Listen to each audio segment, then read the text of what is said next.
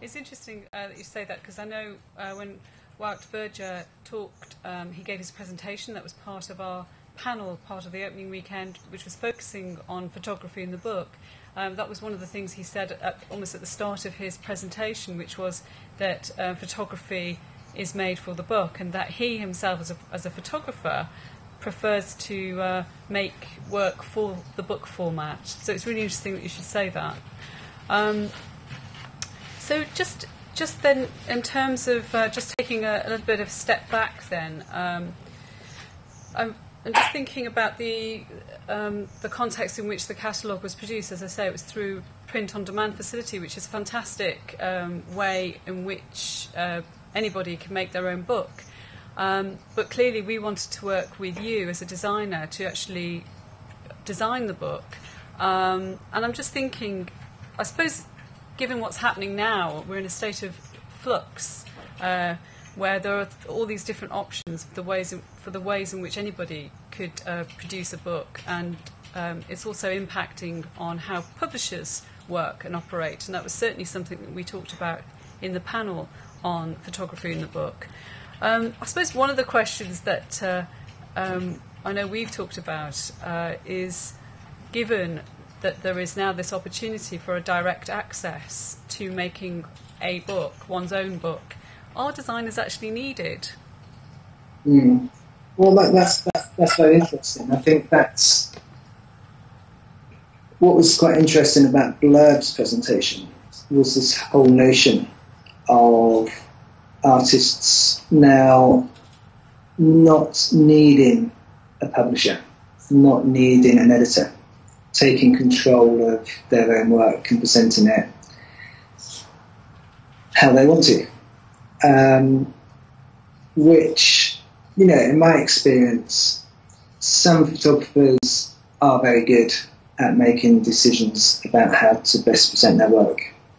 Um, and others, you know, um, aren't. And they're the first to say, well, I need I need help with this. I, I need somebody that can look at this afresh, make editing decisions, um, and make decisions about, you know, this whole how this book should be.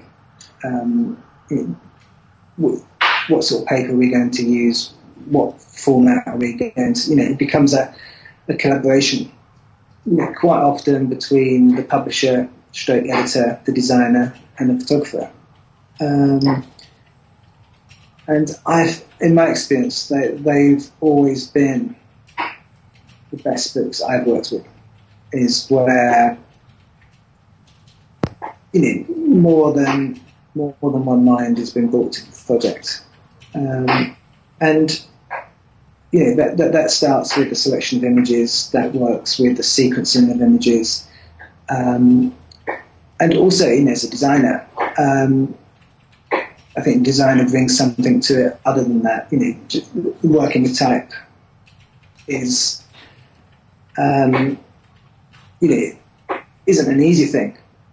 Um, it looks easy, just like all work that looks easy is usually the most difficult. You know, that, that whole simplicity in design is the most difficult thing to do. Well, I mean, I think I think it's interesting what you're saying about there being lots of different opportunities now. But if the end goal is to produce um, a publication that's uh, that's that's as, as, you say is going to be good. It's going to stand the test of time. Um, then obviously bringing people into the um, into the production, um, people who've got experience and have got the right skill set, um, does it does make a difference to the final look and feel of, uh, of any book. Um, and you're absolutely right. Good design, in a way, is hidden uh, you have uh, you know people engage with good design. They sort of have a sense that uh, that some that what they're dealing with uh, invites them in, uh, creates a space for them to engage with the work. Um, but, uh, but but you know in effect, good design is becomes a hidden a hidden part of of the equation because you, you're not aware of it because you're so engaged with the material. Um, so it's interesting what you're saying um, about the role of designers and also, to some extent, the role of publishers as well in producing um, uh, products and in, in steering and, and guiding uh, the production of uh, publications. Uh, and clearly, uh, this uh, the, knowledge and expertise is needed in in uh, producing a final finished product.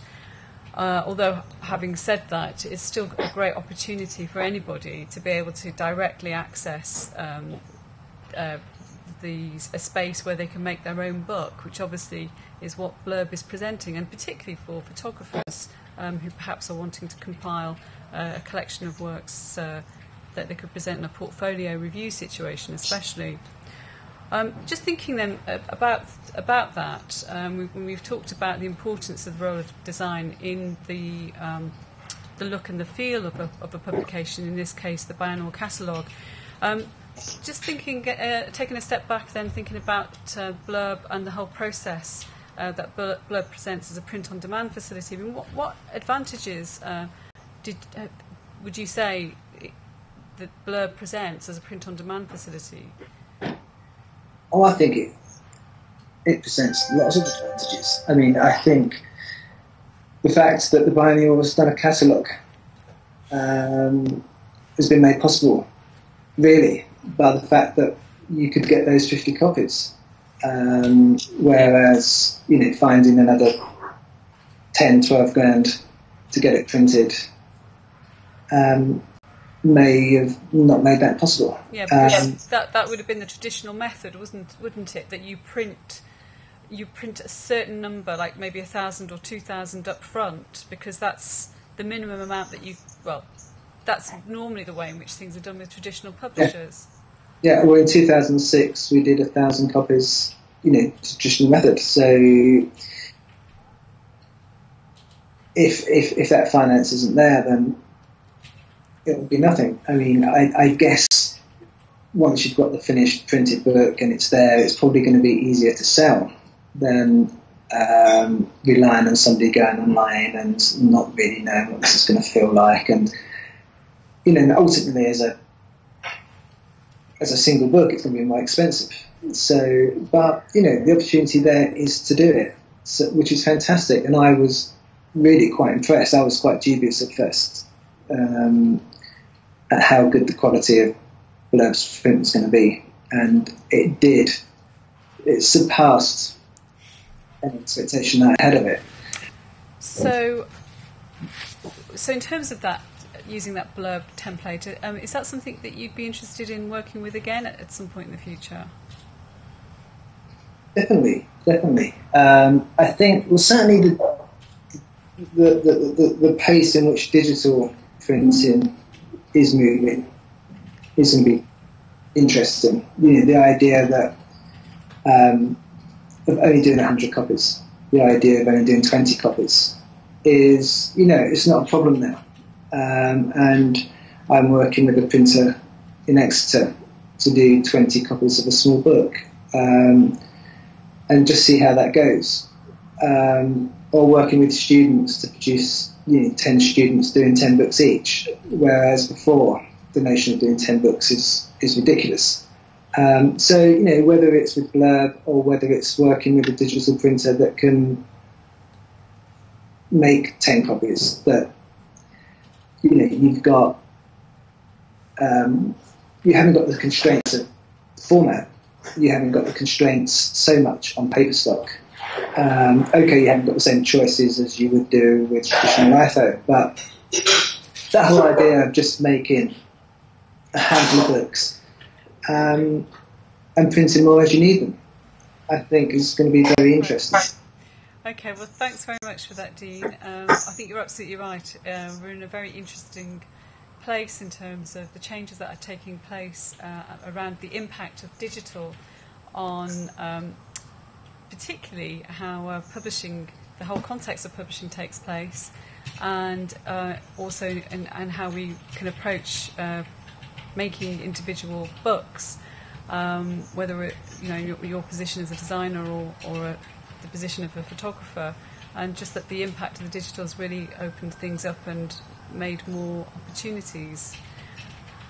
So, um, thanks very much for your input, Dean, and it's been good catching up. Finally, uh, thanks to Skype, we've got an opportunity to talk face to face, which we don't normally do. We're normally on the telephone.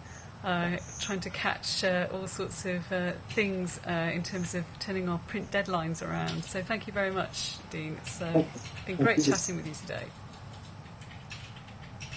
Thanks. Thanks.